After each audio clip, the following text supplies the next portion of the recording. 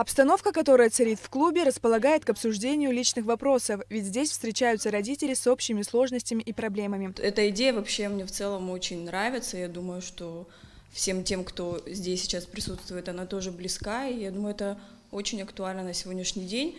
И это им будет, безусловно, иметь продолжение и большой отклик среди вот скажем так, нашей родительской среды. Во время первой встречи всем участникам раздали анкеты, в которых были предложены темы для дальнейших обсуждений. Они затрагивают вопросы психологического здоровья детей и грамотного поведения родителей, образования и развития, охраны детского здоровья. Кроме того, в родительском клубе будут обсуждать проблему сохранения и развития абхазского языка через воспитание молодого поколения. Не хватает вот таких вот встреч, такой поддержки, и многие вопросы у нас есть насущные, которые вот в теории вроде бы как все понятно, понятно, а на практике реализовать сложно. И поэтому вот я думаю, что мы сейчас будем все работать. Желание у всех собравшихся, по крайней мере, есть.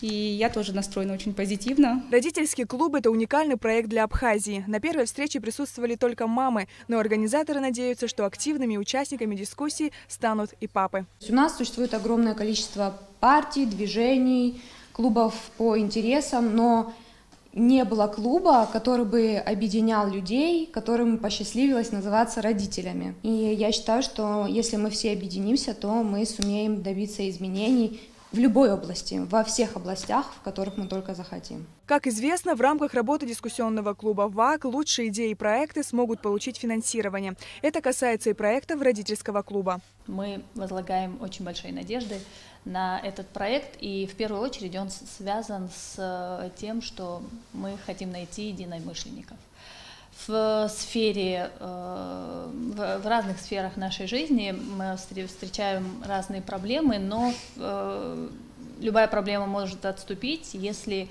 э, вместе искать решение этой проблемы. Возможность не только обсудить актуальные проблемы, но и предложить способы их решения и реализовать их на деле. В середине следующего года, в сентябре, будут рассматриваться проекты, в том числе э, от представителей родительского клуба, которые в 2021 году правильно, можно будет реализовать. Встречи участников родительского клуба в первое время будут проходить два раза в месяц. Все они будут транслироваться онлайн на страницах социальных сетей ВАК. Сария Гварацхеля, Руслан Орлов, Абхазское телевидение.